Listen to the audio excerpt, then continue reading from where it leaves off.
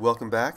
Thanks for watching DiResta's Cut. In this episode, I'm going to make a chalkboard. And we start off, we're at my friend's sawmill. This is Benson Sawmill in East Durham. This is a log I picked from the yard. It had a lot of knots in it, so I thought it would make some pretty live edge boards. So they custom cut this for me. I told them what I wanted to do. So I needed three boards at least 10 feet long, and this is a little bit longer than 10 feet. This is about 11 feet and we're getting three clean boards that are two inches thick. And so he's flipping it around trying to find the good part. This is a wet board of hemlock, or should I say a wet log. It hasn't been dried that long. This tree might have been cut down within the last six months, and that's really nothing for a big log like this, so the wood was considerably wet. The advantage of using a bandsaw sawmill is that you can get a much wider plank from a bigger tree. When you use a circular saw blade sawmill, you're limited by the diameter of the blade. Here your only limitation is the throat of the bandsaw, which you see right there. It looks like it's probably about 3 feet. The boards I'm using are only about 10 to 12 inches wide, so it's not a big deal in this case.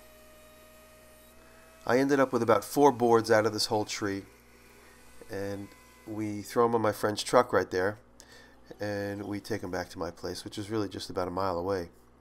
There's Jocko. And so here we are going back over to my place. And I'm making a chalkboard. It's going to be just about 10 feet wide after all is said and done. And here I'm using a circular saw and the wood is kind of wet so it's grabbing a little bit. You could also see how wet it is there when you cut through it and you could it's like cutting into a piece of wet bread. Right inside it's still wet so that whole entire log is got a considerably high moisture content. But this is going to be outside, so it's going to be getting wet anyway. So I cut two planks, and now here's my third plank. I'm going to split the difference of each measurement just to find the center. And now I'm going to cut the bevel. Uh, again, since I'm making a chalkboard, the bevel has to be cut from the flat side each time, so it, it ends up taking out a, a lot of material there. But I had just enough to do what I needed to do. So now that I cut that board in half, those are going to become the two short sides of the frame. And now I'm going to mark the angle that'll make up the other end. And the chalkboards here I have are, uh, I think, are 56 by 48. And I want to overlap them. Yeah, the, the wood was grabbing right there. I'm going to overlap them by at least 3 inches. And so there you go. Jocko's helping me put the frame together. So first look at the size and it's pretty big. You can see how big it is in relationship to the garage, which is 24 by 24. I'm going to hold this frame together with these steel brackets that are going to go at each corner. I'm cutting these brackets. I'm going to embed them in a little bit, but just to get the frame together so I can keep working on the, the back of it, I'm going to put these in temporarily. And I drill a bunch of holes in each one, and each screw holds about, I don't know, technically something like 80 pounds. And if I put 10 screws in there, I can count on a lot of holding strength. And I just bevel off the burrs on one side and then I countersink the top because I want these screws to go in. And so here you can see how the corner is going to be held together. And I'm putting them on temporarily. It's actually the end of the day, so I'm just going to get them together so in the morning I'm ready to go. So there's a bracket at each corner, and I'm also going to have some holding strength from the back once I put the chalkboards in place. I'm going to have some backing panels too. That'll help. And I say chalkboards because I was given two chalkboards to put into this frame. Two slate chalkboards 3 eighths of an inch thick. I'm marking my center of my long side, which is right where the two chalkboards are going to meet. And I'm marking my center on my short side so I know how to place the board top to bottom. And so I do my layout. I get my perimeter. And I'm using a chalk line to lay out the perimeter. And this is a, a great way to mark a straight line. And now I need to check the squareness of the frame, and I'm using what's called the 3, 4, 5 right triangle method. If one side is 3, the other side is 4, the hypotenuse right there should be 5 feet, and it is. And I'm just double checking with my diagonals, making sure they're the same number, and they are. And now I know that the frame is square, and I begin to cut the pieces of wood that are going to trap the boards. This is 3 eighths of an inch 2 by 4 slivers I'm making. And this is going to make up the exterior edge of my holding area that's going to carry the chalkboards. I'm using Titebond 3. I tack them in temporarily. And I'm just tacking them to hold them in place. Of course, the glue is going to do some of the work. And once I put the backer boards, there's going to be screws through everything. With this small trim stuff, I like to cut it with a handsaw. It makes it a lot easier than pulling out the electric. And so now here you see the chalkboards. These two chalkboards are given to me by the school. And they said they didn't mind having a seam as long as it was dead center. And so there's the chalkboards. I'm getting rid of that because I don't want it to be a pressure point on the backer board and potentially crack that slate. And this is so big and wide of an area in the back, I needed three pieces of plywood. It's 53 inches top to bottom. So I didn't have enough to just use two plies. I had to use three plies because it's wider than eight feet and taller than four feet.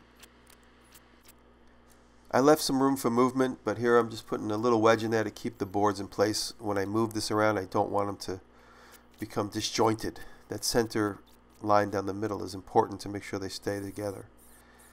And uh, there I ran out of batteries, so I had to go get the electric.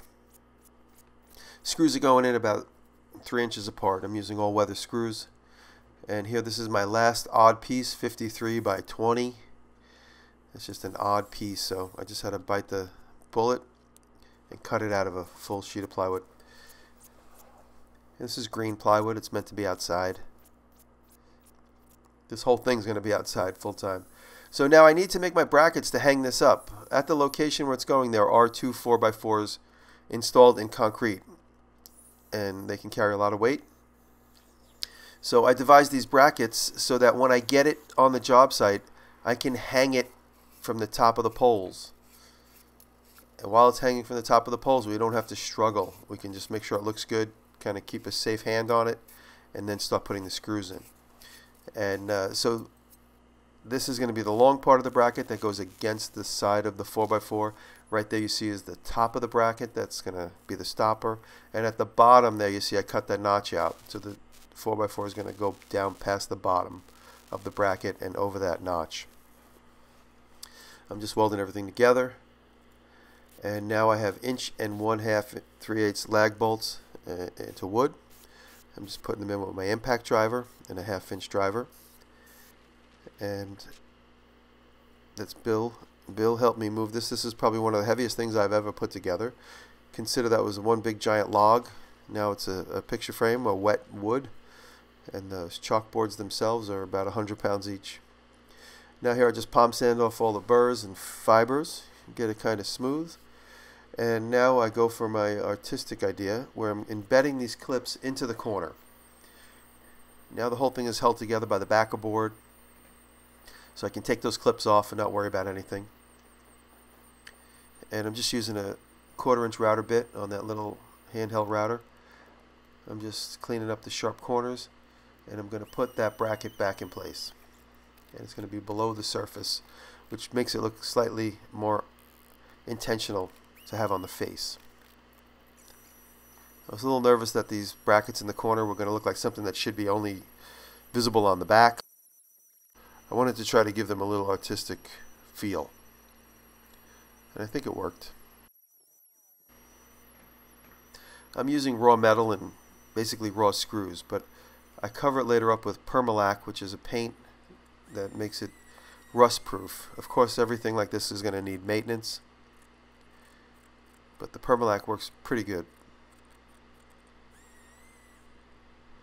And here we go. Rooster approves.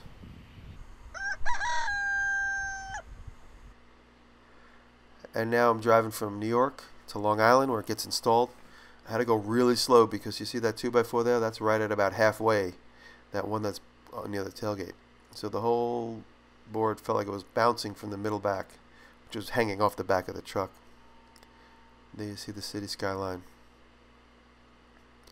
And now here I am with six guys, including myself, and we pick it up and we carry it up onto the front of the school. This is going to be in this area, this exterior area. This thing was so heavy. We were all very nervous to, to twist it and potentially crack one of the boards, but we, we, we were okay. And now my plan worked perfectly. The brackets are hung right on the top of those 4x4s. And here you see me driving in the lag bolts that are going to keep it in place.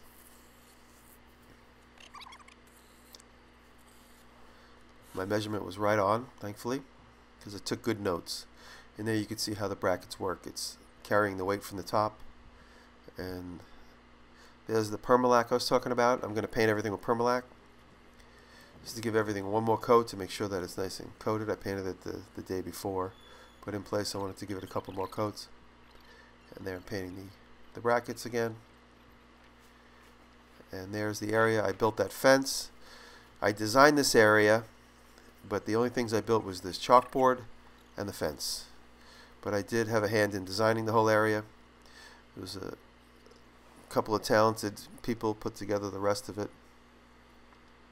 And there's me, of course, putting my logo on the board. And uh, a funny impromptu class session popped up. Some kids came over and they were asking what I was doing. And I started checking their math skills. We had a we had a lot of laughs. Kids were good. Thanks for watching. I hope you enjoyed this and learned something.